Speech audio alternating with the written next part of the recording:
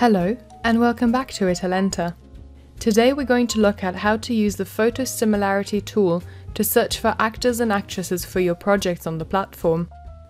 If your project requires an actor or actress that looks similar to someone famous, the photo similarity tool is the right feature for you.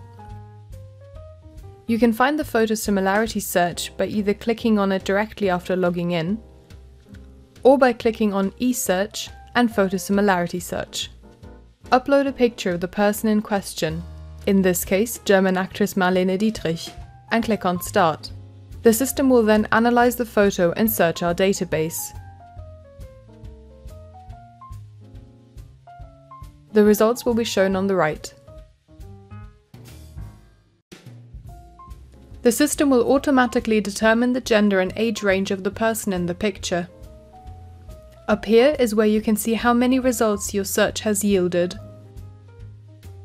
You can mark any of the search results as a favorite for your project and visit their profile by clicking on their name.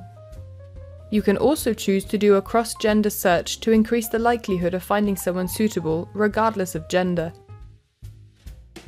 When you've found who you're looking for and would like to launch another search, click on Reset to start the process again.